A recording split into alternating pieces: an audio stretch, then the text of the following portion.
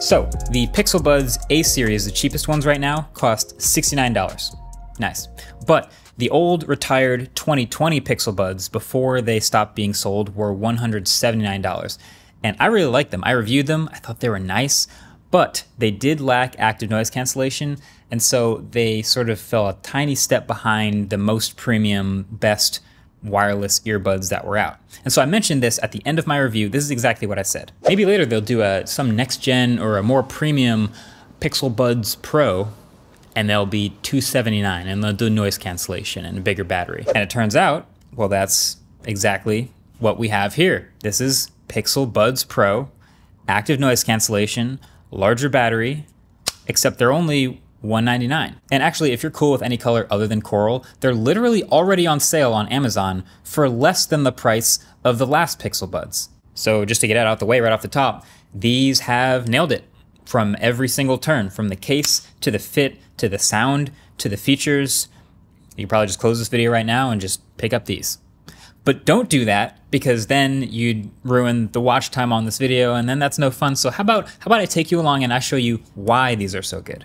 So first of all, the case that these come in is basically the same as before, which is to say underrated. Like so many wireless headphones have annoyingly thick or larger cases, this is a nice, compact, clean, well-made case. Sure, the white might get a little dirty after a while, but it's got this super satisfying magnet to open and close. It is IPX2 splash resistant as a case, and it has a USB-C port at the bottom, but also has wireless charging. So you can pop it on any Qi wireless charger you already have, or on the back of your phone if it supports power sharing. And that's all in a package that fits in the coin pocket in my jeans. An all around absolute win in the case. But it's what's inside the case that we're here for. And the Pixel Buds Pro have this new shape to them. They're mostly a matte black plastic and they have a sort of colored cap at the end that's either fog colored, which is what I have. It's kind of a light blue, or coral, a yellowish green, or black. So just like any other wireless earbuds, you pop them out of the case, you give them a quarter twist to lock them into your ears. And while they don't stick out of my ears too bad, like maybe the Sony WF-1000 XM4s. It isn't the lowest profile I've ever seen either. It's somewhere in between, just a little bit bigger than the last Pixel Buds. But the main difference for me is these don't have the wingtips anymore. The wingtips have their upside and the downside.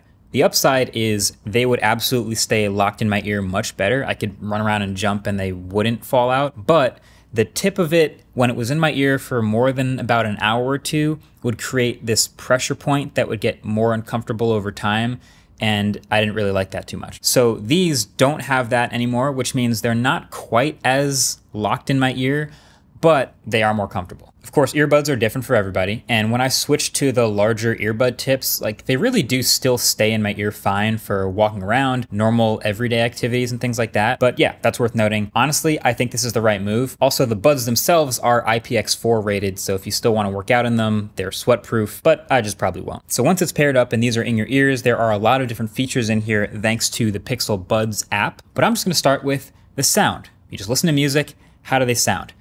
And I think these sound really, really good. Now I'll spare you the bunch of descriptors and audiophile terms that I could use just to tell you basically I really like the sound from these new 11mm drivers. Once you get a nice seal in your ear, you can tell they're really crisp and clear. They aren't too shrill or tinny, they don't distort very much, and the noise cancellation does a great job of getting rid of white noise, and there's basically no perceivable Bluetooth lag at all when watching videos or gaming. There's just two slightly odd things that I noticed. One, these just have a much stronger bass than the last Pixel Buds. I kind of noted that as a weakness in the previous Pixel Buds review, like they were a little bit weak on the bass.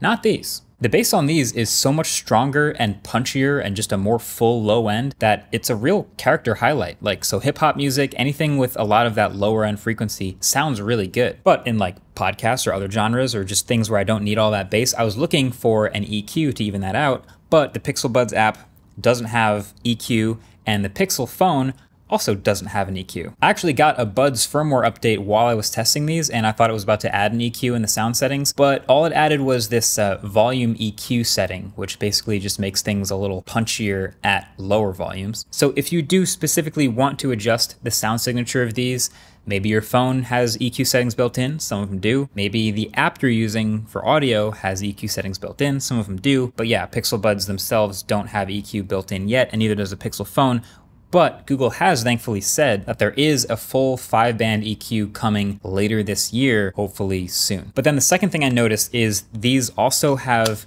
a slightly lower overall volume than any other buds I've tested in a while. It's not problematically low, but I did find myself almost always listening either right below max volume or like two to three notches below the max volume because that was the comfortable listening level. Usually max volume is way too loud for more than a few seconds of listening on most earbuds, but not here. It feels like it feels like the bottom 40% of the volume slider is basically useless. I can barely hear anything that's that low, but yeah, I am definitely impressed by how little distortion there is and how clear and thumpy and great it sounds at or near max volume, so that's worth noting. Every pair of noise canceling earbuds shall have a transparency mode. At least seems like they all should. It's like a unwritten rule of these things. Yeah, these are transparency mode built into the Pixel Buds Pro, and it's okay. It's going to let in sound from the microphones and pump in your ambient noise so you can hear what's around you. But it's not the best. I guess AirPods are still in a league of their own when it comes to this, but I'd rate these transparency mode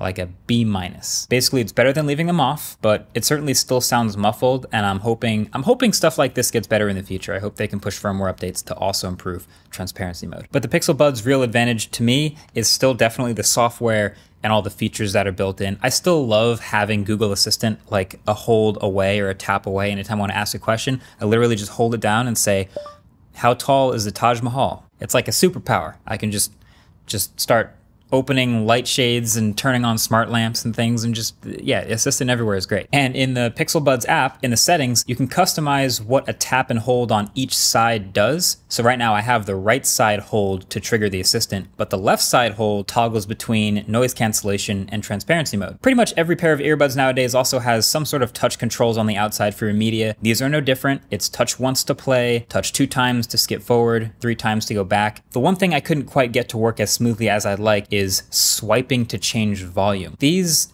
they're just not a big enough surface for me to like reliably get a good swipe in. I kept trying to do it, but this was like the most inconsistent thing for me. Basically, I just end up like wobbling it around in my ear. It works sometimes, but again, it's not a big surface. So what I ended up doing is I just end up reaching in my pocket and blindly like changing the volume on the volume rocker on the phone in my pocket, which turned out to actually be totally fine as long as my phone was on me. So, and there's a bunch of other features too. Multi-device support, so these buds are paired to both my phone and my laptop at the same time and seamlessly switch back and forth as advertised, no problem. I love that. And then they have a find my device feature in case they get lost. They have in-ear detection to automatically play and pause when you take them out and put them back in. And they even have this ear tip seal check feature, which analyzes how well the microphones are actually canceling out sound for you. And if it's not working so well, it can recommend a different size ear tip to improve the seal. It's smart. The only thing missing might be the like adaptive sound feature, which listens to your environment and then automatically bumps up the volume when your environment gets louder. I didn't really use that very much, but I noticed it wasn't here, so that isn't in the Pixel Buds Pro. But it's also apparently coming. Other than that, it's not really missing anything. Like these have every feature that I'm used to having with earbuds, and the cherry on top is they did also with this slightly larger body improve battery life. So you're gonna get seven hours of actual listening with active noise cancellation on, which is far longer than I would ever listen to earbuds. That's up to you if you wanna do that. 11 hours with ANC off. That's a huge advantage. So for 199 should you just get these? Probably, yeah. I mean, this is easy to recommend. There are some other options out there. So for around this price, you're looking at, you could definitely get AirPods if you're into that, but you can also look towards if you specifically want better sound, there are better sounding earbuds, but also something like Samsung's new Buds 2 or Pro, they're 229. I haven't gotten the chance to hear them yet because they just came out and Samsung didn't send me any, but I imagine considering how good the previous ones were that those might also be really good. And then also as far as like working out in headphones or fit in the ear, I still prefer a wingtip in the ear for like actual workout stuff. So like Beats Fit Pro, Beats Studio Buds, those types of things stay in my ear better. So worth considering that stuff. But as far as like everyday buds, you put them in your ear every day, you take meetings on them, phone calls, you walk around with them, you just have them on all the time. Google Assistant's your superpower. Yeah, these are great. Uh, these are the these are the ones I'm going to put in my backpack and keep around with me everywhere I go. Well done, Google. Thanks for making these. Please push that EQ feature. I'm going to be waiting for it. Thanks for watching. Catch you in the next one. Peace.